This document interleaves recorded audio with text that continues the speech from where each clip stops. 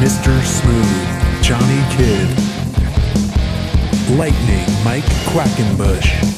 Like Quackenbush, he always has a hold, he always has a counter hold. A rivalry forged from two legacies of creative influence. Last year, I came out of retirement to face Joe so that you and I could find closure, but we didn't. And now, their ultimate resolution.